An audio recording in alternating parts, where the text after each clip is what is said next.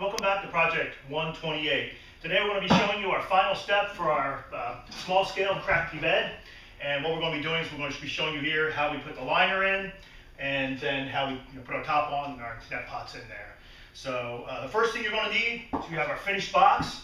We're going to need two pieces of lath at 48 inches. We have two, they're going to be our you know long sides, two pieces at 13 and a half inches for either end. We're going to need our one inch screws and um, you're going to need your plastic.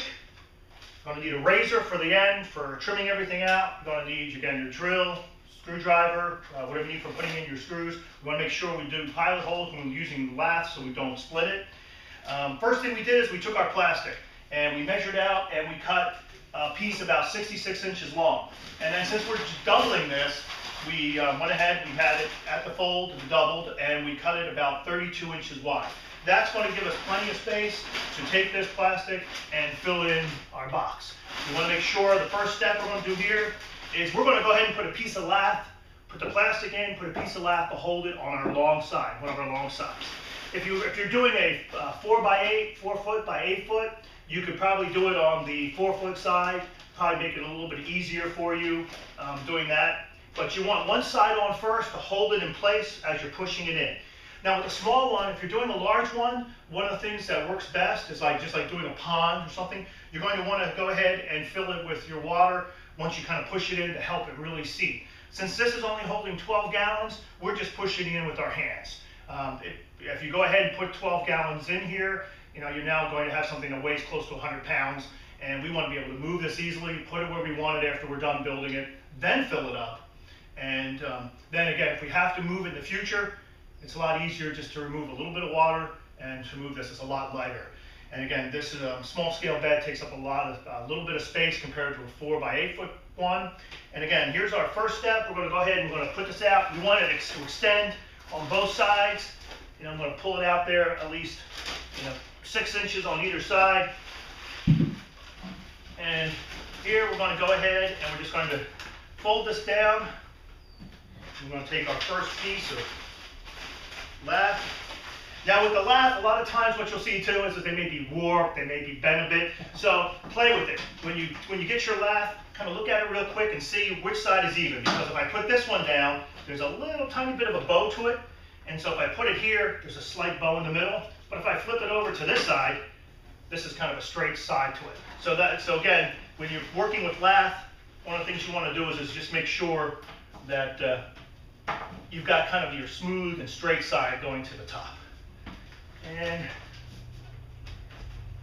again, with our pieces here, we cut them a little bit longer because we're going to have these end pieces here. So what I do is I just hold this here, make sure I have the first one in line with that one. And I can set that aside. And I'm not going to do every one of these, but again, what you want to do is you want to do your pilot holes, don't go all the way through, just enough to go through your lath. And then we're going to go ahead and we're going to screw these in. And I've done about six screws on um, each of the long sides and either two or three on the short sides. So we're going to go ahead and we're going to finish putting this in and we'll be right back with you. Okay, we have our first side piece on. Um, so what we have now is we have our plastic um, just connect it to one side. Sometimes this, this part here, it's better to get, if you have like a second, second set of helping hands, you got somebody to help you out to kind of stretch it and push it in there. But again, I'm not so worried about it being neat and looking you know, perfect. Uh, what we want to do is protect and hold our, uh, our solution in here, our nutrient solution. So once we have that in, we're going to go ahead and push it in. We want to make sure, again, that we left enough overhang over here for our sides.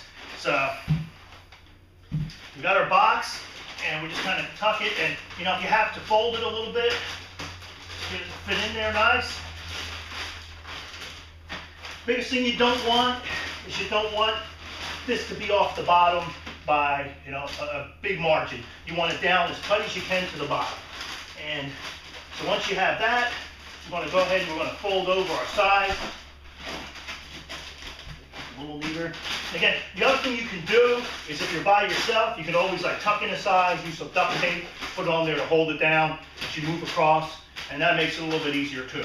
But the best thing is you've got somebody else to help you. They can hold one side while you're working on the other side, pushing it in.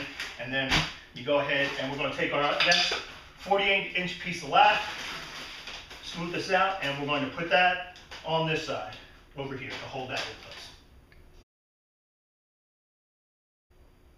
Okay, now that we have our sides on, um, what we're going to do is we're going to take our razor and we're going to just trim off the excess. And what I did on that first side I put in is I kind of put the edge right where my lath would be so I didn't have to worry about trimming that side.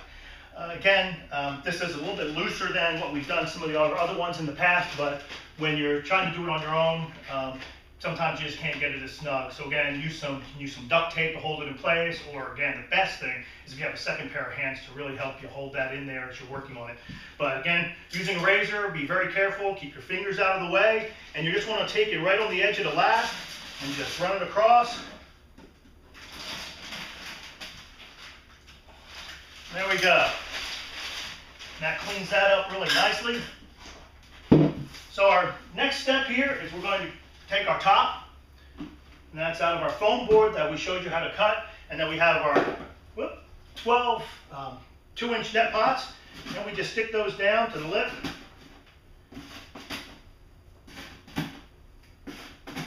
Now the two inch net pots, um, they're really great for if you're using the um, porta cubes or rock wool cubes because they drop right in here and you don't have to worry about um, putting any leca in or anything else to, for, for, your rooting. They'll just drop right in and they fit in there pretty snugly.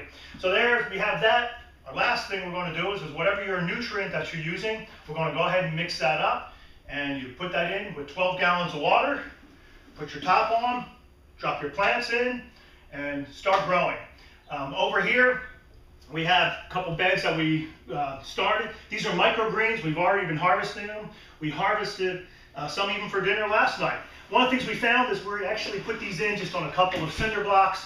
It's a little bit low, um, so we need to get some other shelving. We're going to raise these up to the window because the ones that are outside getting more direct sunlight and more light, um, even ones that are on the north side um, of the house outside, they're getting a little bit more sunlight than these are and they're growing a lot better. So, and they're using the same solution. These were using the, uh, the mix with the master blend. One of the things I want to point out is if you make a mistake when you're drilling, you can see even we make mistakes sometimes. Okay, even I make mistakes sometimes. So what you're going to do, save the plugs um, until you're done with you know cutting your board. Because what I did is I had a little mark here, and it was for my line that I was scoring across. But when I was drilling it out, I was just going straight on through, hitting these little marks and I missed the one that was here to get them evenly spaced. So all I did is I just put the plug back in there and I used a bit of this foil tape and just put a piece on the top and a piece on the bottom. If you don't have that foil tape, you can go ahead and just use some duct tape again. Just put it on top and bottom and there you go. That repairs that hole that uh, you mistakenly did.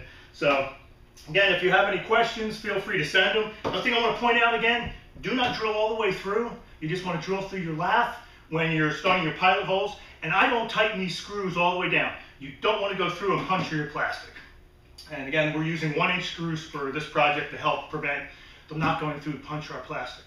Again, if you have questions, please go ahead and send us any questions you have. We're more than willing to help. If you have suggestions, feel free to send us uh, suggestions or if you have anything constructive, please go ahead and submit those to us. Like us if you want, and uh, go ahead and uh, follow us on Facebook or on our blog. Uh, we have a new website now. I'll go ahead and I'll post that um, for you on the end of the video. And uh, we'll see you next time. And until then, happy gardening.